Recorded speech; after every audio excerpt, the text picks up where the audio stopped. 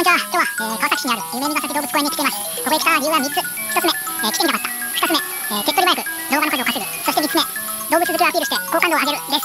それでは行ってみましょう。